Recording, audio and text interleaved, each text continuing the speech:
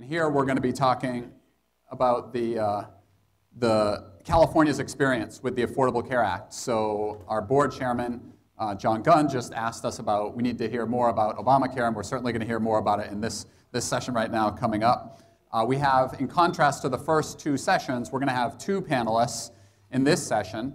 Uh, and uh, the first is John Bertko, who's currently the chief actuary and the director of research at Covered California, which is our state's health insurance exchange. Uh, prior to this, he served as the director of special initiatives and pricing in the Center for Consumer Information and Insurance Oversight at CMS. Uh, for many years, he had served as the chief actuary for Humana Inc., and then he followed that with positions at RAND and Brookings and our Center for Health Policy here at Stanford, although I may have the timing off a bit, but I think I've got it pretty right.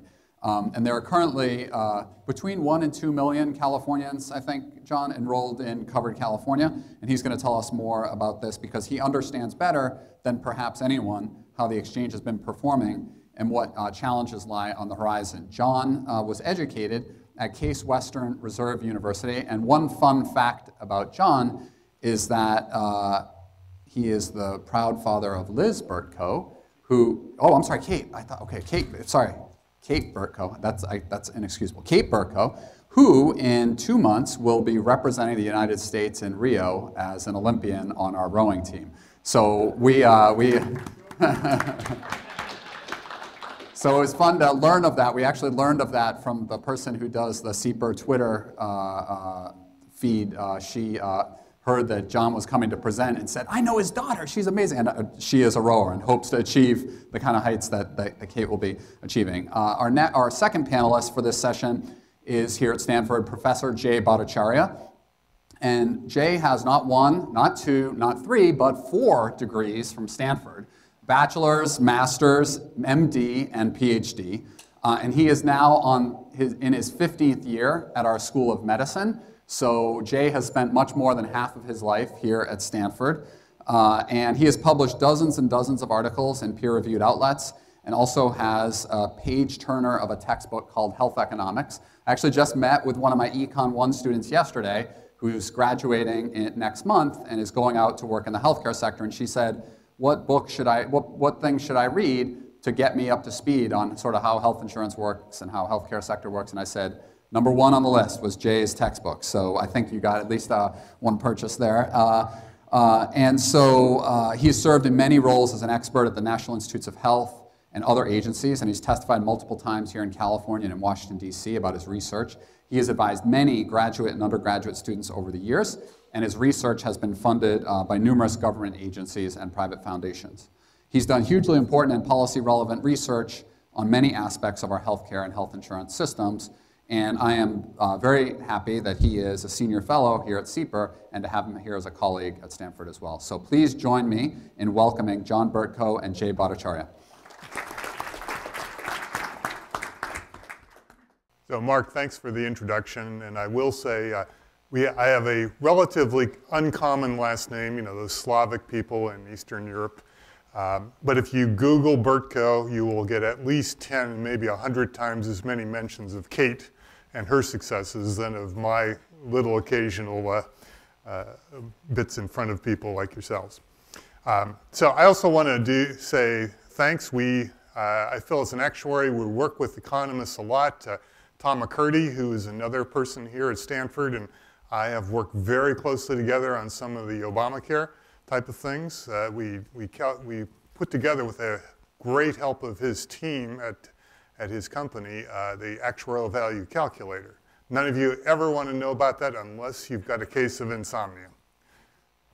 Um, so let me run through a couple of slides to talk about this and clearly open for any kind of questions. When Mark said I worked at CCIIO, what that means is I helped write the actuarial regulations for Obamacare for three years back there, and it, it, was, it was quite the struggle. I, I described it as having an actuarial puzzle to work on every day. Some of the puzzles took an hour, some took a month, some took a year. But we, uh, we managed to crank it out and get it working. Um, those of you who don't know, this is just quick. I'm not going to go through all of these, but uh, uh, you can hardly imagine in today's atmosphere that uh, the Affordable Care Act would ever be passed again. It is a uh, signature uh, enactment that is comparable in many ways to Medicare back in 65. So what's the recap though? The, uh, at least in this portion of the market, uh, the things that Amir talked about were mostly the, uh, well, call employer-sponsored insurance market. Uh, Optum does a tremendous amount of work with self-insured employers, with large employers, and uh, maybe took a pratfall on the individual market. I won't say more than that.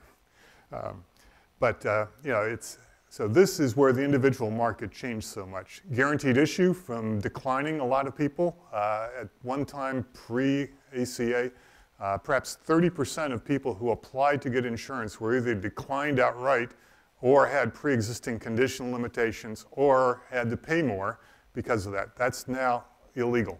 Um, many of you will, or at least in the audience, will go off and become entrepreneurs. And you find out after you go over the age of 26 and leave your parents' uh, in folds on uh, healthcare coverage, you need to get coverage somewhere. Trust me, come to Covered California, at least if you're in the state. We'll cover you, we promise. uh, age rating change, that was supposedly a big deal. It's not, actually. That three to one is only slightly reduced from about four and a half to one. But there's a bigger change that no one else ever talks about. We went to unisex. Women under 40 are twice as expensive as men for the obvious reason. They have kids. Men don't get more expensive until about age 57. And then, you know, they start falling over with heart conditions and such. Um, but in any case, this was a big change in the industry model. Um, I'll go on now to talk more about Covered California and what we do. So in the country, there are uh, 16 state-based or federally, uh, federal partnership model uh, marketplaces. Um, we and about five others were pretty successful, um, and I'll just point you north for a minute in Oregon, being overly ambitious and absolutely choosing the wrong partner fell flat on its face. And you know, places as diverse as Massachusetts, who had one up and running, chose the wrong, wrong uh, partner to do the IT. Uh, and uh, you know, everybody talks about four-letter words that you never say in public. Well, the three-letter acronym CGI shall never come into the state if I can help it. um, we are an active purchaser. That's opposed to the federal market, which basically takes all comers. So we've said we're going to choose who comes to play. And our deal in 2014 was if you guys come in, are prepared, and work hard, we're going to actually give you a bonus by uh, not allowing a lot of other people in to start with. So California is in the enviable role as we're a huge market. So lots of characters want to come in, um, but if you weren't going to play, you didn't get to come in for a couple of years, and we are maintaining that provision. We will allow new players in where we need them, not where they want to come. I mean, we've got eight plans in the two LA regions. We've got four in San Francisco. Um, I'll leave it to all you eco behavioral eco economists in the audience to know where does confusion start. But my uh, answer is it starts at about four to five plans. And uh, uh, uh my boss, Peter Lee, sometimes talks about the tale of three cities, Los Angeles, Denver, and Miami. Los Angeles has about 16 plans to, to uh, choose from because we've got uh, eight players, we got tiers and we have two kinds of plans. We have standardized plan designs because we think that makes it easy. You get to Denver and they've got about 45 and I think you get to Miami and you got about 80 plans to choose from. Uh, 80 is not real choice. You can't do that sorting. And as much as Amir might have talked about the tools that United has, nobody has tools that help you select that. Uh, you know, it's, it's, it's a little bit more complex than buying an airline ticket where you know hopefully what your destination is. Um, as an active purchaser, we conduct plan negotiations. So um, the federal model is kind of odd in the sense that it doesn't have any power in the ACA to negotiate with providers. That's left to uh, the state departments of insurance in most states. Here, we do negotiations and then work hand in hand with our two regulators to be sure we've gotten a good deal. And uh, you know, I would tell you this, rates that could look like they are supportable aren't necessarily good value. and we try to squeeze value out of that. I believe that all of our plans need to be profitable. It's just what's the right level of profits for that. Um, and then lastly, and as importantly, we are moving forward on quality initiatives. Um, you know, the, your first speaker, who I just heard the end of, was talking about some of that. There's a lot of places to improve quality in healthcare delivery in California. So what's the, our insurance market look like? Um, we have uh, 12 plans at the moment. We have the big four, which have about 90% of membership. Uh, HealthNet, Blue Shield, Anthem Blue Cross, and Kaiser. But as importantly, in some regions, we have competing local plans. Uh, one of my favorites is Chinese Community Health Plan in San Francisco. They do a great job competing against the big four. Uh, Sharp, down in the San Diego region, does a really good job as an integrated hospital delivery system competing against the folks down there. They help us by that competition of keeping the big guys uh, from uh, getting, uh, let's say, unnecessary profits and low service and quality. So, uh, you know, this all works together. And believe me, uh, Mark's uh, suggested or re reminded you that I worked as the chief actuary for Humana for eight years. I know how to make money. I know how to be a capitalist.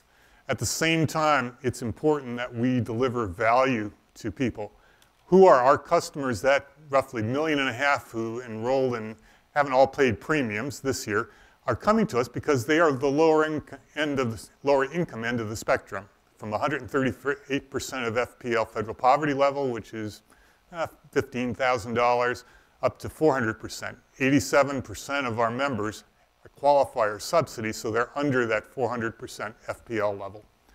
Um, what other kinds of things? I mentioned some of the, our smaller plans across there, but we had a couple of new entrants in 2016. United Healthcare was one of them. We needed uh, more competition in a couple of our regions, and then we let Oscar in.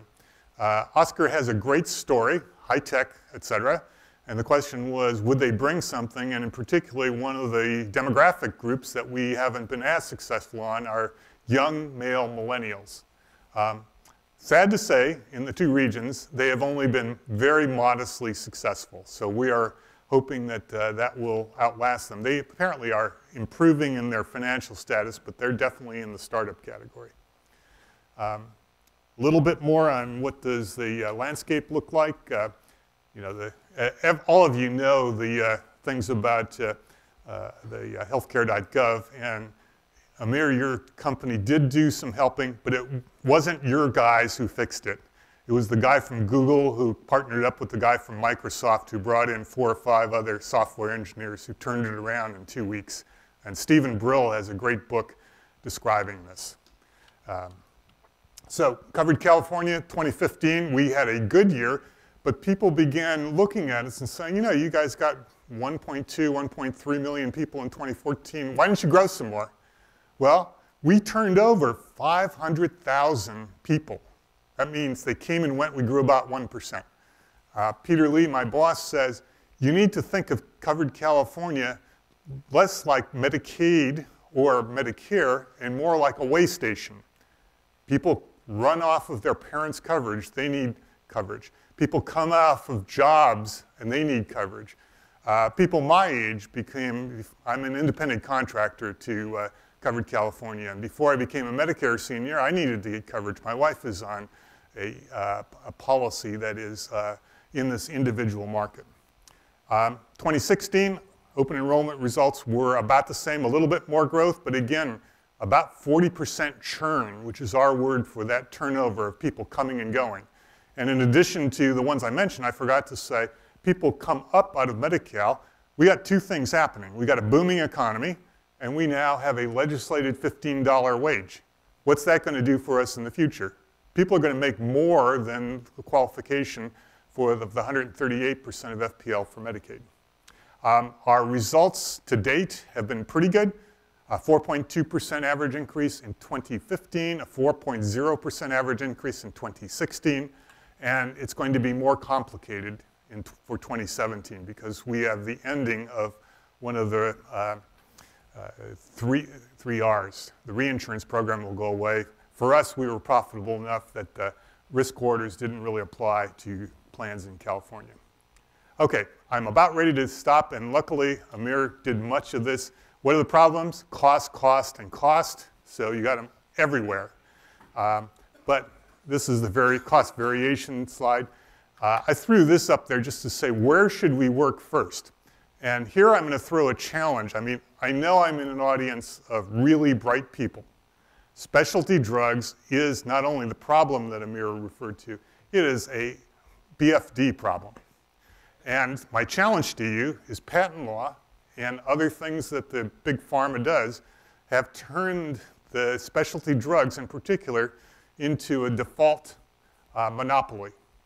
So how do we price regulate or manage a, a, a monopoly? Uh, you know, you remember the railroad barons of the 19th century and what had to happen then?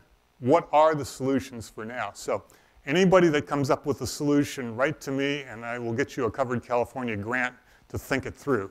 But it's got to make sense and it's got to be workable under the next administration. Great, thanks. So uh, I think this says a lot about the circles I walk in. Uh, John Bertko is, is, is, ridiculously famous, and this is the first time I've heard of Kate, so I don't know. I don't you, you hang out in the wrong place. Yeah, I think, I think that might be the case. Uh, so, I'm gonna, so John focused on the, the, uh, the, the, exchanges. Uh, if you look at the Affordable Care Act, there was the two major mechanisms by which insurance expansion happened. And John focused on the one, the one, the one part, the, the insurance exchanges. These tend to be for people that are over 138% of the poverty line. Uh, the other part of the, of the expansion of, medic, of, of, uh, of uh, uh, insurance coverage under the Affordable Care Act is Medicaid. And that tends to be for people that are under 138% of the poverty line, so for the, for the poor.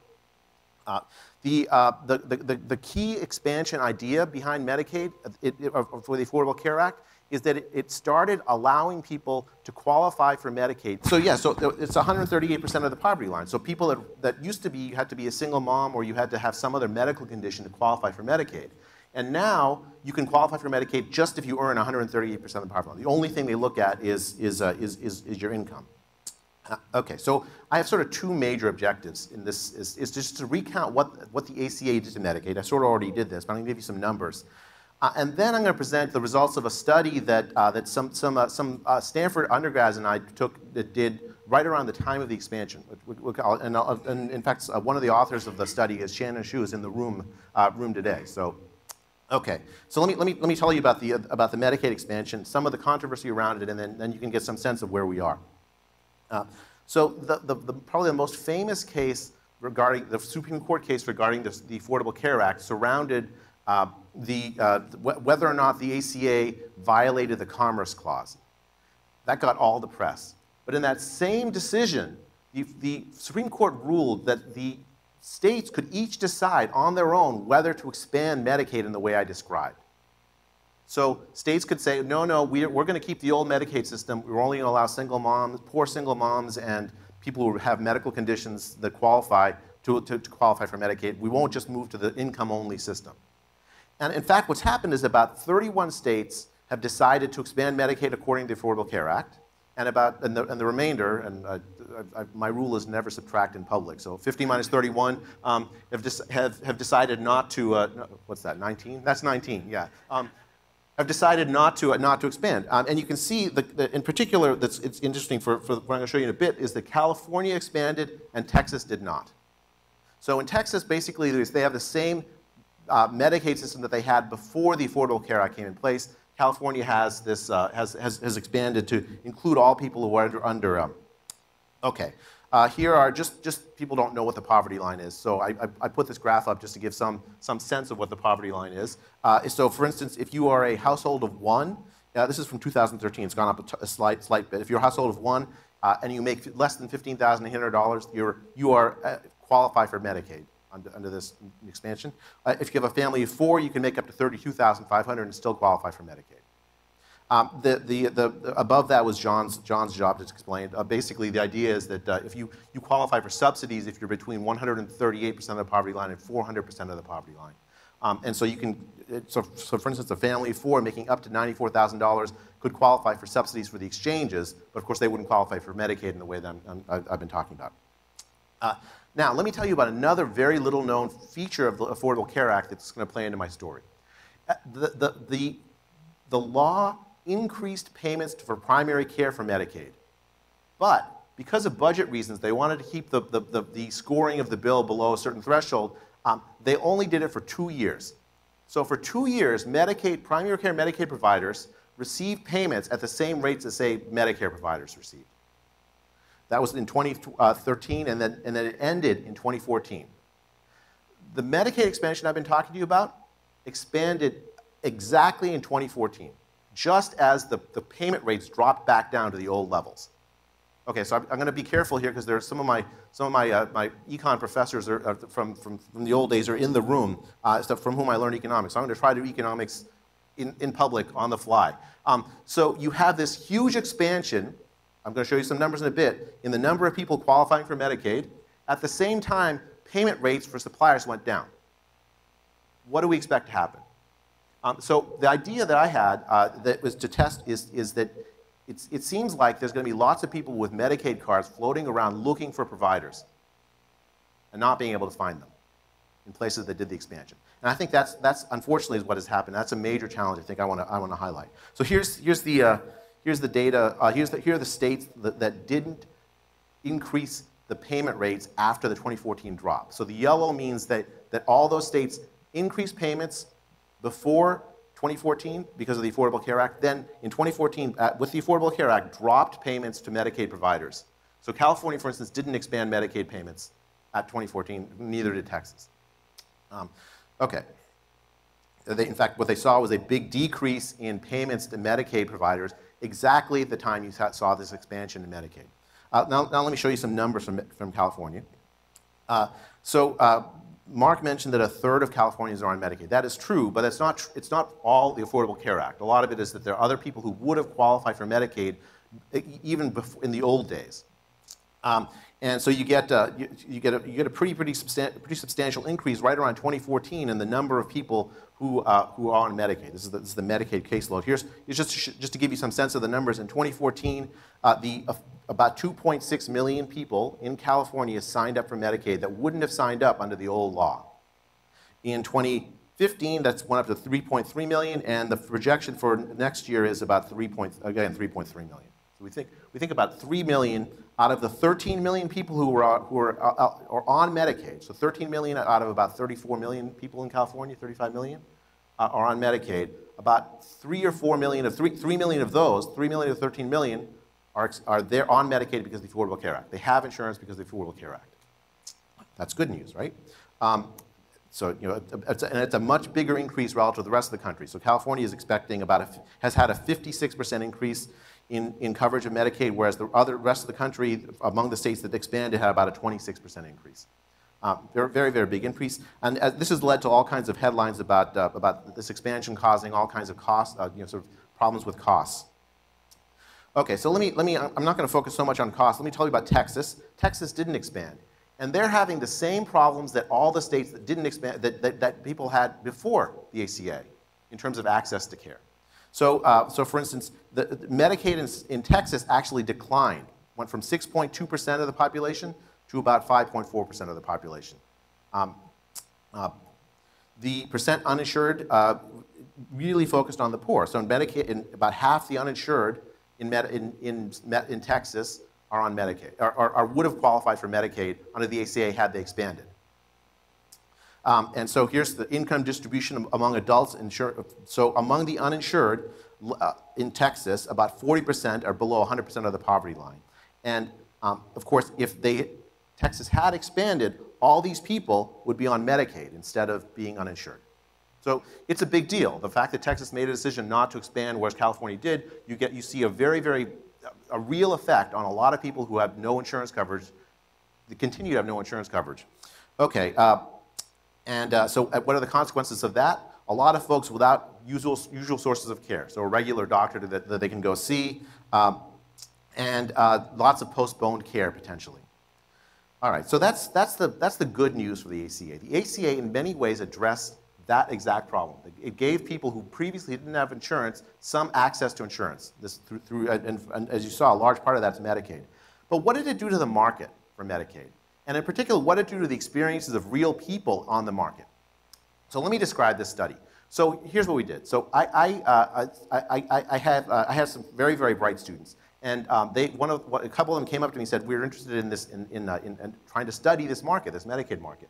So here's what I proposed. I said we should, uh, we should call a random sample of providers before the ACA expands in 2013, December, November, December 2013, call a random sample of providers after, and then, but not just call them. Let's just try to, let's try to get an appointment. Let's, so what you should do is you, you got, the students will go, will, will called up these providers. We've got a, a, a random sample of providers in California and Texas, and they called them up pretending to be patients.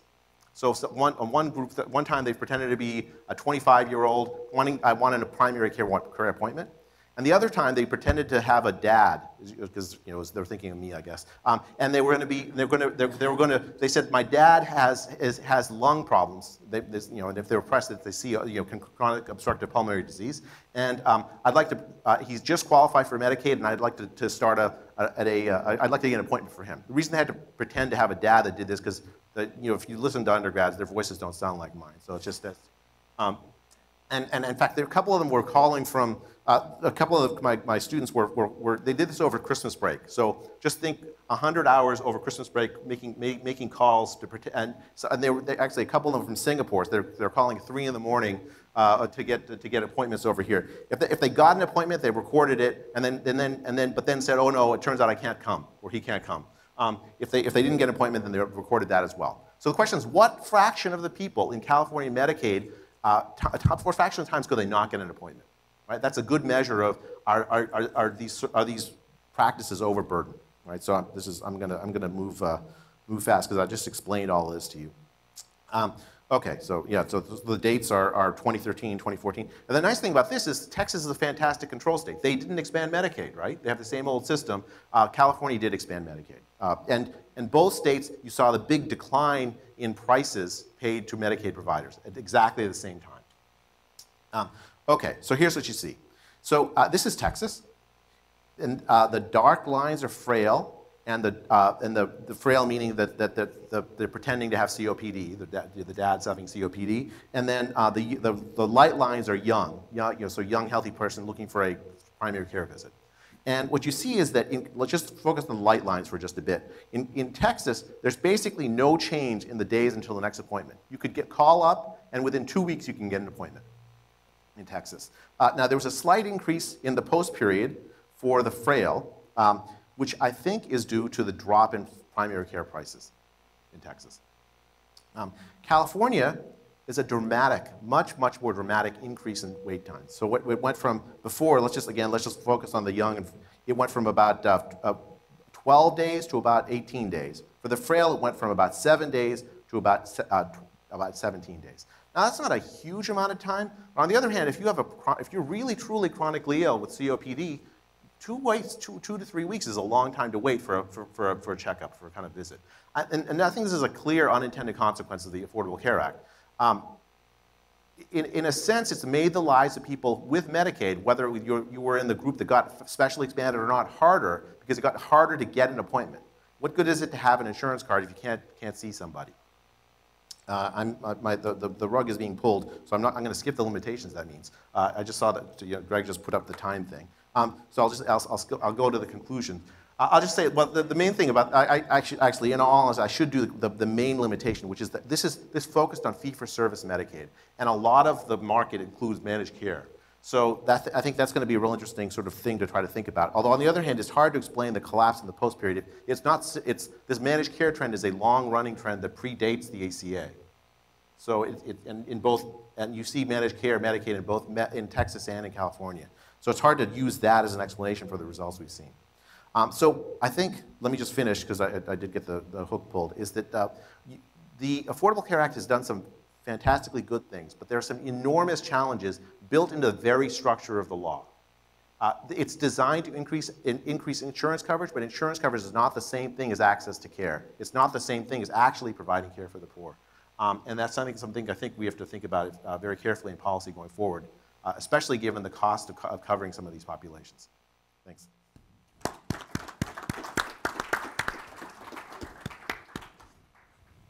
Uh, Thanks very much, uh, both John and Jay. Um, I do want to give it, so one of our next panelists is uh, here from the Kaiser Family Foundation, and they have some good, they had some, they were a source of some of the data there for your stuff. So I want to give a shout out to Kaiser Family Foundation here. Uh, but he's not listening, so he didn't hear. Um, uh, so anyway, it was useless.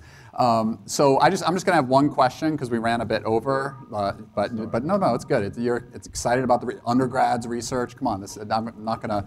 We can't pull the hook, pull you out for that. But uh, so you, uh, John, you talked a bit about the sort of issue of sort of hitting the sweet spot in terms of number of plans from which to choose. You don't want too few uh, because then you don't have enough competition, but you also don't want to overwhelm people perhaps with 80 plans because how are they going to make good decisions in a case like that? And one thing there's been more and more work about, or more and more discussion about, and this is related to a project that uh, Pietro Tebaldi, a PhD student who's here, and I did, is what's happening in sort of rural areas. Yes. So rural areas are, and California has a very large uh, number of people living in rural areas. And I don't know what the California specific experience is. But my understanding is that in many rural markets, or you know, it's more sparsely populated markets throughout the U.S., we're in a position now where there's only one insurer operating, and uh, and that creates problems for lots of reasons. You don't give people don't get to benefit from choice, and you don't get the the sort of competition. Do you have a sense of how it's going here in California, and or what what what can we do to to make uh, market outcomes better uh, uh, in those places in California and perhaps nationally? Well, just to validate, you're correct that it's looking ahead to 2017 with the pullout of a couple plans. I think there are about 3,000, a little over 3,000 counties, and 650 of them are going to have a single plan in it as of right now. You know, there could be some people coming back in, some leaving. Uh, in California, we are better.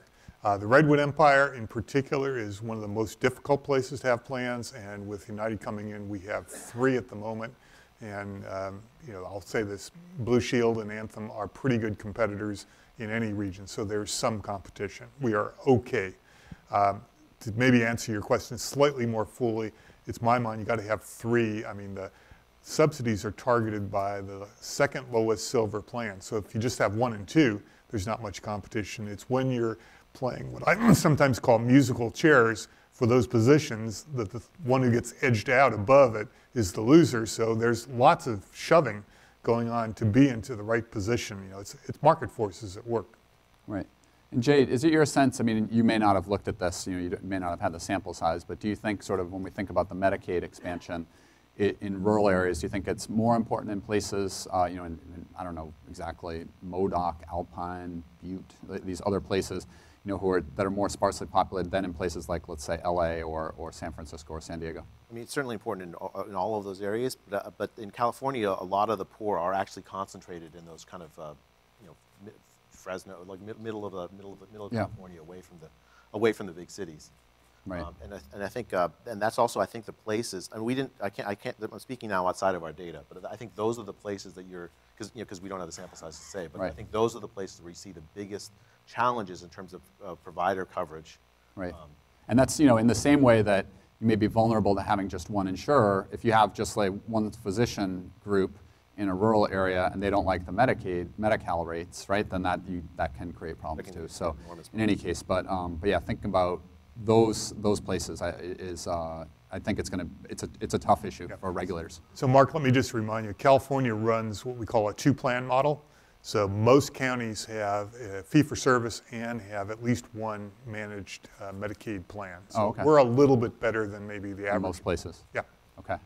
Great. Well, we better be because we have many more people. As a share of our population, we're one in three, so we're much more than, than most of the U.S. So Yep. we're uh, uh, only one state I think is higher than California. That's New Mexico. New Mexico has a higher share of its population on Medi-Cal, but we're I think I think we, we're number two. Um, okay, so let's open it up for questions uh, from the uh, from the audience. I'm supposed to go with a student first, and I think that's a. You, you seem you look student-like back here. student? No. Is Thank you. I'll, I'll uh, take that as a compliment. um, yeah, a couple questions. There's a district court in D.C. that recently ruled that the cost-sharing subsidies were illegal, and uh, so not the premium subsidies, but the cost-sharing subsidies. I'm just curious your your thoughts on the potential impact of that. So- And then more broadly, thinking about, you know, the Republicans have used a lot of rhetoric to say they're going to repeal the ACA. Um, you know, what do you think they could do? And are you guys doing anything to sort of prepare for that, or is it just too too early or too uncertain to do much? So uh, on the first, second question, uh, I don't engage in political speculation. I do projection on numbers. So uh, I'll say we'll, we'll see what happens. But on the more important question, which is the cost sharing, uh, certainly that will be appealed. It may be, you know, I don't know the sequence exactly, but I think it goes to a panel in the district court first and then may end up at the Supreme Court. Um, if it were to be upheld, uh, there's about, um, I've only done some back of the envelope, a 10% cost increase uh, that plans who offer these silver plans with the cost sharing subsidies would have to absorb and blend into the cost sharing plan. It's a one time increase. Uh, it is not the end of the world, but it would be painful. Yes.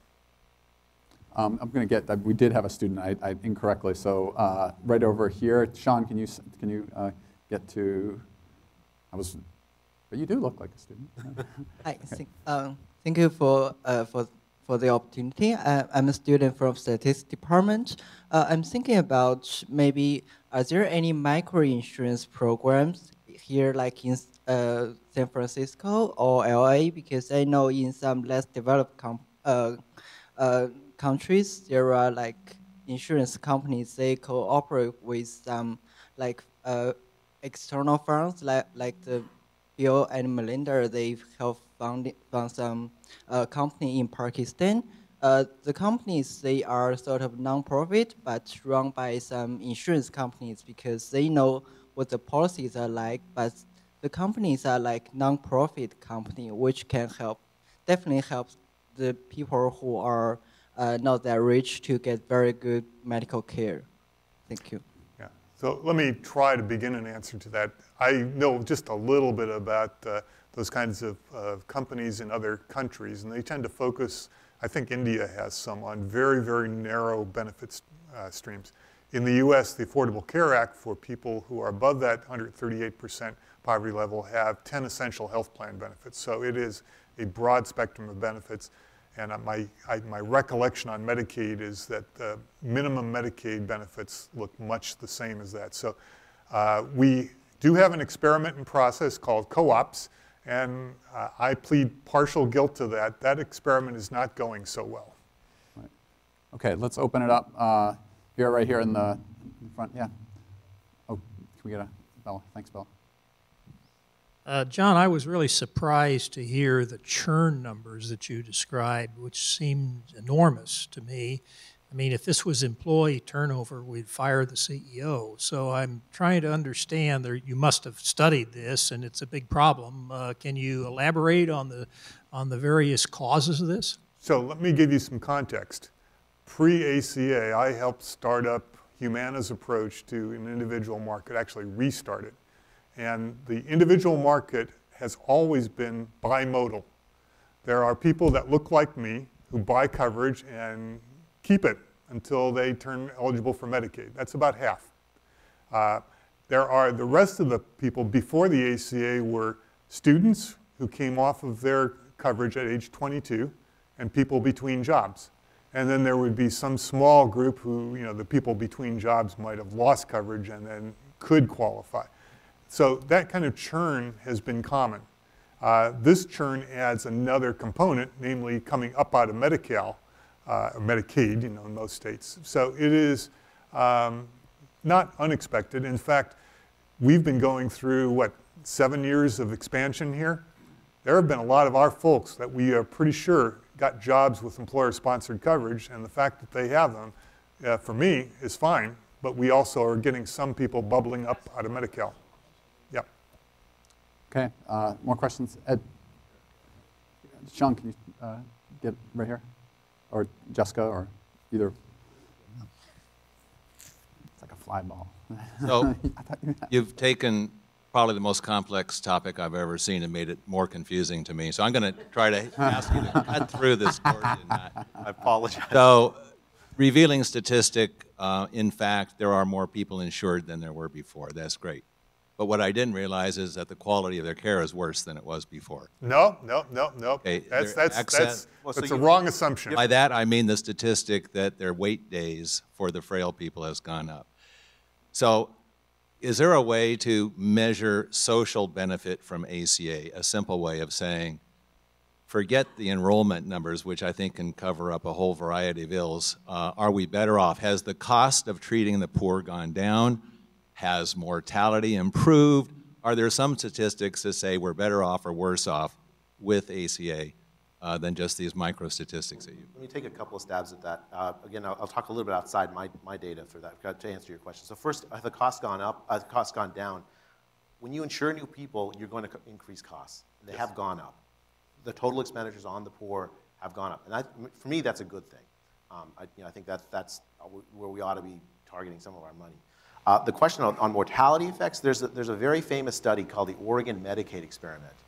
Uh, it, Oregon, uh, in, in, uh, in, a diff- in a different period, expanded their Medicaid coverage, um, but, but they, they, they had a fixed pool of money to, to expand, but they, so, but, they, but they couldn't cover everyone that wanted expand, the expansion. So they randomly assigned some people the expansion and some people didn't get the expansion. And there's a very, very famous paper by, uh, with, with Amy Finkelstein at MIT. is the- is, uh, where Former they- supervisor. Yeah, and a Yeah. Yeah, actually, she's been a SIEPR for a while. Um, uh, for a bit, for, uh, and, and she found that there was no change in mortality rates in the, the, the people who were randomized in the year after the expansion, but the people who were randomized to and from. This, and this corresponds to a very, another very famous randomized experiment in health economics called the RAND Health Insurance Experiment, which finds it's, it's just difficult to find average of mortality benefits from insurance coverage in these randomized studies. So. So you, you would think logically there's some way to measure social benefits from wellness. Data, data, data. Nope, don't have it. I'm going to take one more question in the back there. Jessica, right in front of you. Professor Barr. Uh, John, you've been around this for a while, and so you remember Harry and Louise. Oh, yes. And Harry I was there at the time. 1993, Louise is saying to Harry, Harry, if the Clinton plan gets passed, it says here we're going to have to get our health insurance from one of 52 different government bureaucracies. There must be a better way. And of course, they were talking about health alliances, which are almost. So, my first question is Do you see the difference in the health benefit exchanges different than the health alliances, or are they fundamentally the same thing? And if they're the same thing, what happened that Harry and Louise were so freaked out in 1993, but now we're taking it as part and parcel of the market? Well, I can tell you that I am an expert to answer that question. Uh, the uh, Clinton administration of the time brought in seven health actuaries to act, act as an actuarial audit team. I was one of them. Um, let, me, let me put it this way. Uh, hopefully, you guys at Stanford learn practical stuff. There was a man named Ira Magaziner who was probably the most brilliant idiot that I have ever known.